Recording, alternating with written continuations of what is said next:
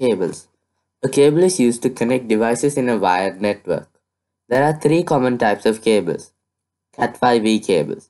These are often used in homes and offices and can transfer data at a speed of 10 megabytes per second, 100 megabytes per second, or even 1 gigabyte per second. Cat5e cables connect devices through the NIC.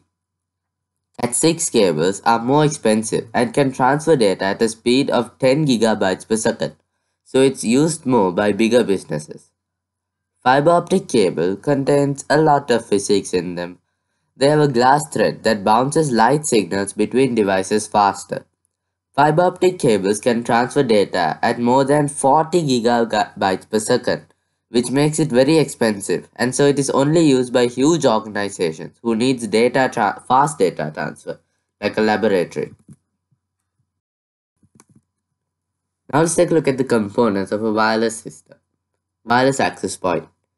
This allows devices connected to the Wi-Fi to connect to a wired network.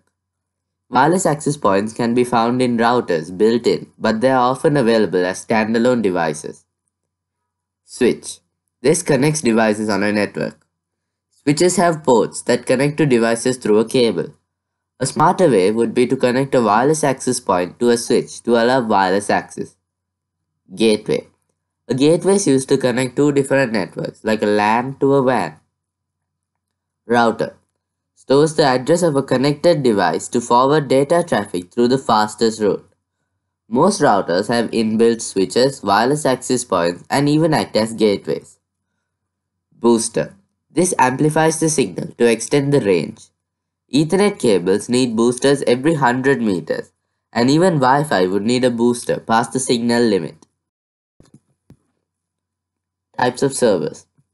Authentication server checks usernames and passwords and grants client with an electronic certificate if successfully logged in. The e-certificate can be used to access resources like storage or printers.